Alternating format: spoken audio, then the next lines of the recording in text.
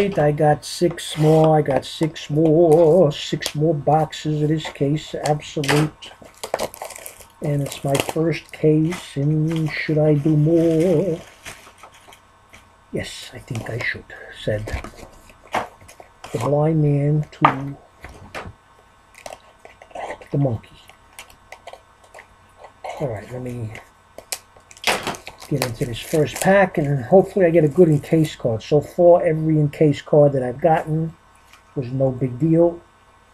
And I got six boxes left to get a decent encased card, okay? Let's see who this is. This is uh encased card of it's encased. Adam Ha. Are your balls encased or what? I mean, if you don't use them, what's the difference? Encase them. Whatever. Cement, styrofoam.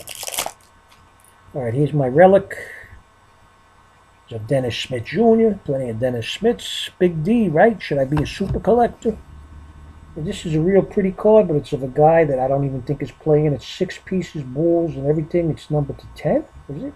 I guess, or 25. I don't know. Does it really make a difference? It's real, real thick.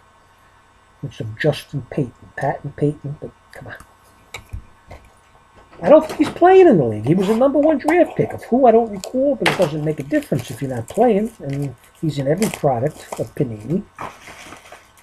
And I guess because he's a number one pick, he should be, right? But doesn't do the collecting, uh, you know, the collectors any good when they see the card being pulled out of the pack, right? So what was my best in case card so far, guys? I got a ball, right? All right, let's see if I get any more. Here is a DeMar DeRozan encased card. And let's see my... Hold on, just bear with me.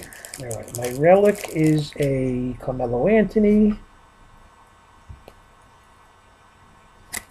And I got a six-piece balls and jerseys of somebody by the name of Sammy Oil, oil, oil in your eye, oil, in your eye, Sammy Oil in your eye. Hey, he's with the Celtics, guys. So look, can't be that bad, right? Might get a ring this year. Ciao.